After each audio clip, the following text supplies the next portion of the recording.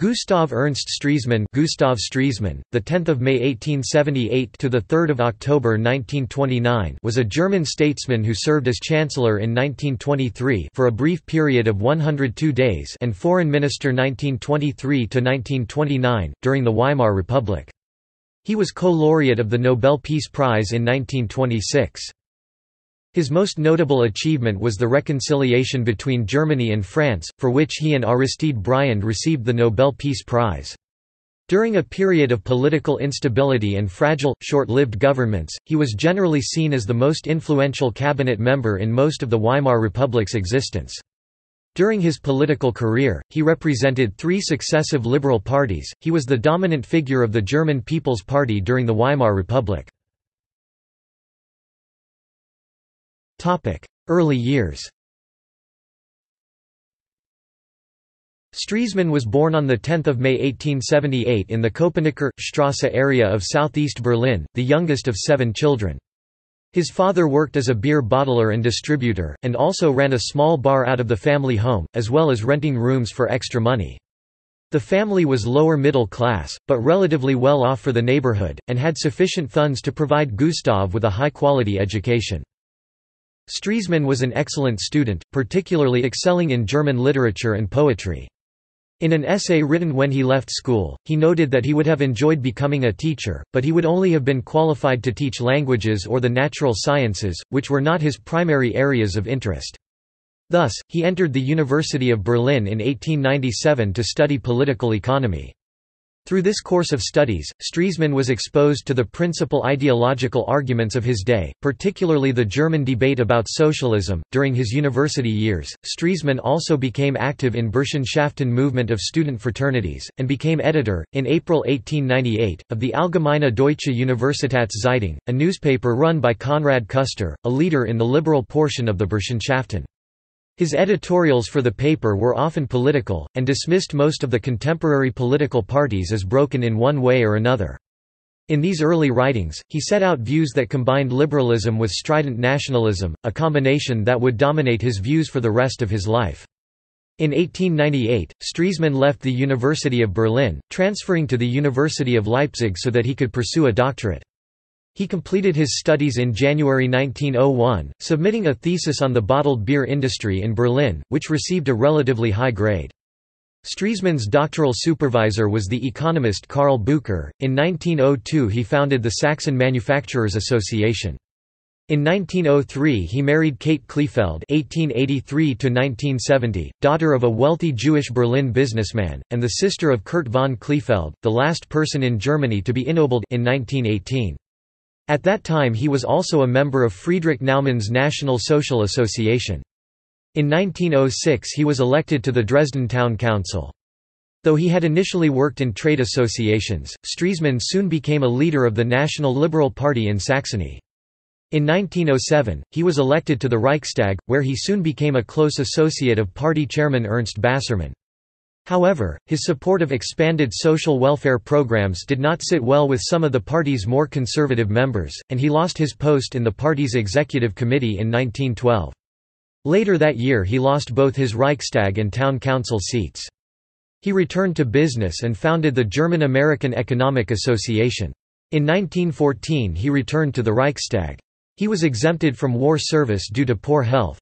With Bassermann kept away from the Reichstag by either illness or military service, Stresemann soon became the National Liberals' de facto leader. After Bassermann's death in 1917, Stresemann succeeded him as the party leader. The evolution of his political ideas appears somewhat erratic. Initially, in the German Empire, Stresemann was associated with the left wing of the National Liberals. During World War I, he gradually moved to the right, expressing his support of the monarchy and Germany's expansionist goals. He was a vocal proponent of unrestricted submarine warfare. However, he still favored an expansion of the social welfare program, and also supported an end to the restrictive Prussian franchise. When the Allies' peace terms became known, including a crushing burden of paying reparations for the war, Konstantin Fehrenbach denounced them and claimed, the will to break the chains of slavery would be implanted into a generation of Germans. Stresemann said of this speech, he was inspired in that hour by God to say what was felt by the German people. His words, spoken under Fichte's portrait, the final words of which merged into Deutschland, Deutschland über alles, made it an unforgettably solemn hour. There was in that sense a kind of uplifting grandeur. The impression left on all was tremendous. Stresemann briefly joined the German Democratic Party after the war, but was expelled for his association with the right wing. He then gathered the main body of the old National Liberal Party—including most of its center and right factions, into the German People's Party German, Deutsche Volkspartei, DVP, with himself as chairman. Most of its support came from middle-class and upper-class Protestants. The DVP platform promoted Christian family values, secular education, lower tariffs, opposition to welfare spending and agrarian subsidies and hostility to «Marxism», that is, the Communists, and also the Social Democrats. The DVP was initially seen, along with the German National People's Party, as part of the «national opposition» to the Weimar Republic, particularly for its grudging acceptance of democracy and its ambivalent attitude towards the Freikorps and the Kapp Putsch in 1920. By late 1920, Stresemann gradually moved to cooperation with the parties of the left and center—possibly in reaction to political murders like that of Walther Rathenau. However, he remained a monarchist at heart. In the Weimar Republic Chancellor 1923 On 13 August 1923, Stresemann was appointed Chancellor and Foreign Minister of a Grand Coalition government in the so-called Year of Crises 1923. In social policy, a new system of binding arbitration was introduced in October 1923 in which an outside arbitrator had the final say in industrial disputes, on 26 or 27. September 1923, Stresemann announced the end to the resistance against the occupation of the Ruhr by the French and Belgians, in tandem with an Article 48 of the Weimar Constitution state of emergency proclamation by President Ebert that lasted until February 1924. By this time, Stresemann was convinced that accepting the Republic and reaching an understanding with the Allies on the reparations issue was the only way for Germany to gain the breathing room it needed to rebuild its battered economy.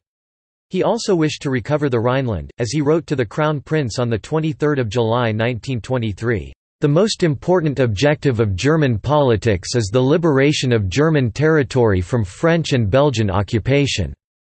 First, we must remove the strangler from our throat. Hyperinflation in the Weimar Republic would reach its peak in November 1923. Since Germany was no longer able to pay the striking workers, more and more money was printed, which finally led to hyperinflation. Stresemann introduced a new currency, the Rentenmark, to end hyperinflation. He also persuaded the French to pull back from the Ruhr in return for a promise that reparations payments would resume. This was part of his larger strategy of fulfillment he had come to believe that as harsh as the Treaty of Versailles was, Germany would never win relief from its terms unless it made a good faith effort to fulfill them. To his mind, this would convince the Allies that the reparations bill was truly beyond Germany's capacity. The effort paid off, the Allies began to take a look at reforming the reparations scheme. In early November 1923, the Social Democrats withdrew from his reshuffled government and after a motion of confidence was voted down on 23 November 1923 Stresemann and his cabinet resigned. Foreign Minister 1923–29 Stresemann remained as foreign minister in the government of his successor, centrist Wilhelm Marx. He remained foreign minister for the rest of his life in eight successive governments ranging from the center-right to the center-left. As foreign minister, Stresemann had numerous achievements. His first notable achievement was the Dawes Plan of 1924, which reduced Germany's overall reparations commitment and reorganized the Reichsbank. After Sir Austen Chamberlain became British Foreign Secretary, he wanted a British guarantee to France and Belgium as the Anglo-American guarantee had fallen due to the United States' refusal to ratify the Treaty of Versailles. Stresemann later wrote, "...Chamberlain had never been our friend. His first act was to attempt to restore the old Entente through a three-power alliance of England, France and Belgium, directed against Germany.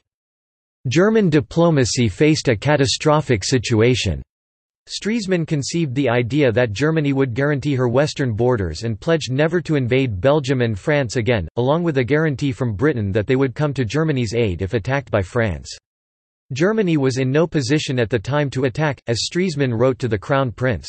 The renunciation of a military conflict with France has only a theoretical significance, insofar as there is no possibility of a war with France. Stresemann negotiated the Locarno treaties with Britain, France, Italy, and Belgium. On the third day of negotiations Stresemann explained Germany's demands to the French Foreign Secretary, Aristide Briand. As Stresemann recorded, Briand almost fell off his sofa, when he heard my explanations. Stresemann said that Germany alone should not make sacrifices for peace, European countries should cede colonies to Germany, the Disarmament Control Commission should leave Germany, the Anglo-French occupation of the Rhineland should be ended, and Britain and France should disarm as Germany had done. The treaties were signed in October 1925 at Locarno. Germany officially recognized the post-World War I western border for the first time, and was guaranteed peace with France, and promised admission to the League of Nations and evacuation of the last Allied occupation troops from the Rhineland. Stresemann was not willing to conclude a similar treaty with Poland. There will be no Locarno of the East, he said. Moreover, he never excluded the use of force to regain the eastern territories of former German Empire which had come under Polish control as a consequence of the Treaty of Versailles. After this reconciliation with the Versailles powers, Stresemann moved to allay the growing suspicion of the Soviet Union. He said to Nikolai Krestinsky in June 1925, as recorded in his diary, I had said I would not come to conclude a treaty with Russia so long as our political situation in the other direction was not cleared up, as I wanted to answer the question whether we had a treaty with Russia in the negative. The Treaty of Berlin signed in April 1926 reaffirmed and strengthened the Rapallo Treaty of 1922. In September 1926, Germany was admitted to the League of Nations as permanent member of the Security Council. This was a sign that Germany was quickly becoming a normal state, and assured the Soviet Union of Germany's sincerity in the Treaty of Berlin. Stresemann wrote to the Crown Prince, all the questions which today preoccupy the German people can be transformed into as many vexations for the Entente by a skillful orator before the League of Nations." As Germany now had a veto on League resolutions, she could gain concessions from other countries on modifications on the Polish border or Anschluss with Austria, as other countries needed her vote. Germany could now act as the spokesman of the whole German cultural community and thereby provoke the German minorities in Czechoslovakia and Poland. Stresemann was co-winner of the Nobel Peace Prize in 1926 for these achievements. Germany signed the Kellogg-Briand Pact in August 1928. It renounced the use of violence to resolve international conflicts. Although Stresemann did not propose the pact, Germany's adherents convinced many people that Weimar Germany was a Germany that could be reasoned with.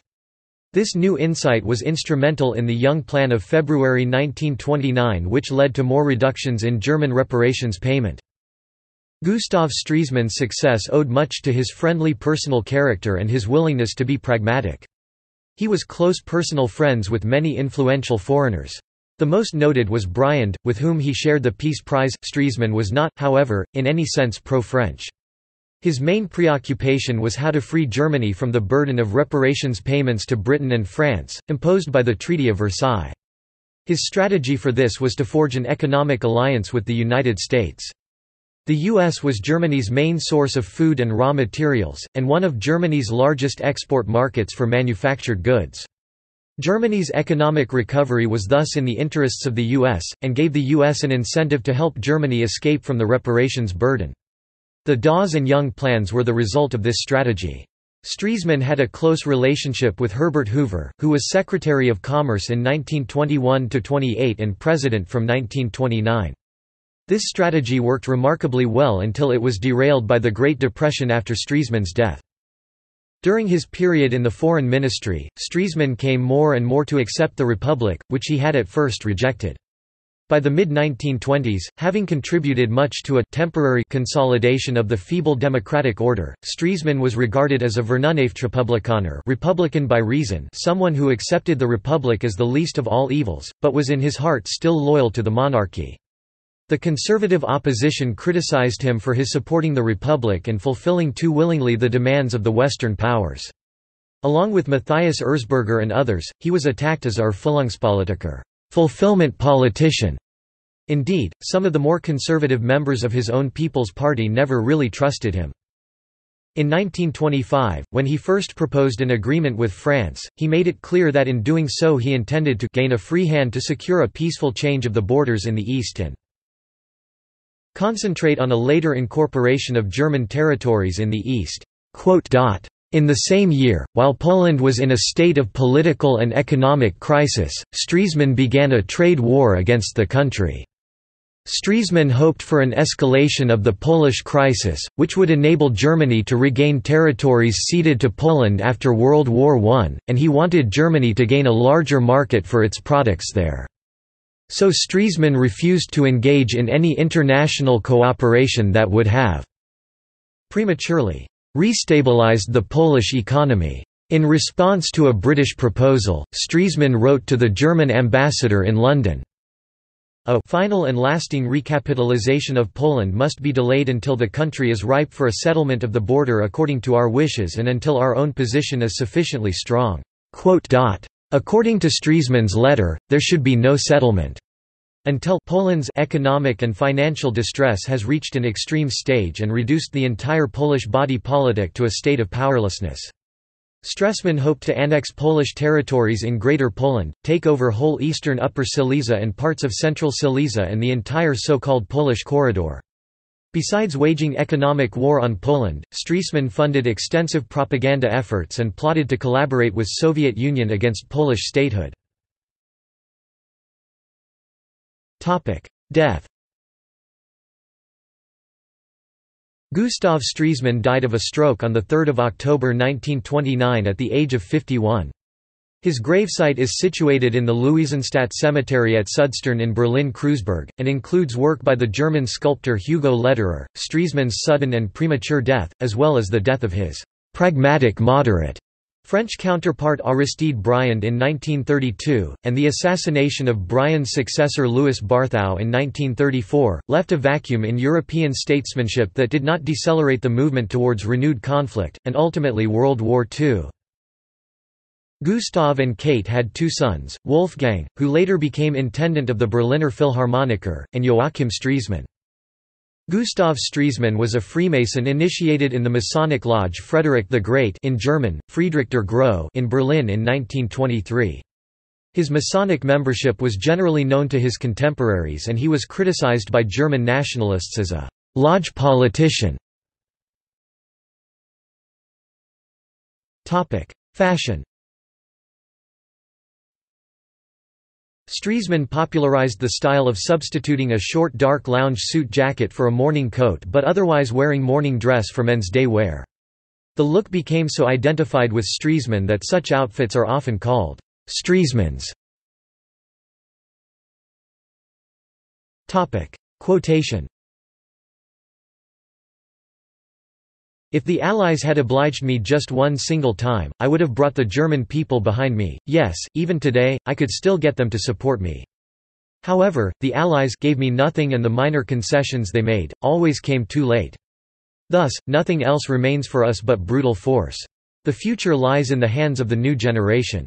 Moreover, they, the German youth, who m we could have won for peace and reconstruction, we have lost. Herein lies my tragedy and their, the Allies' crime. Topic. See also Gustav Stresemann Institute List of people from Berlin Topic. Footnotes Topic. Bibliography Topic. External links Media related to Gustav Stresemann at Wikimedia Commons Works by Gustav Stresemann at Project Gutenberg Works by or about Gustav Stresemann at Internet Archive Gustav Stresemann at Find a Grave Hitler, Stresemann and the Discontinuity of German Foreign Policy by Edgar Feuchtwanger Nobel biography Slavenas, Julius P. 1972. Stresemann and Lithuania in the 1920s. Lithuanian Quarterly Journal of Arts and Sciences. Chicago, Lituanus Foundation. 18 4 Winter 1972. Newspaper clippings about Gustav Stresemann in the 20th Century Press Archives of the German National Library of Economics ZBW.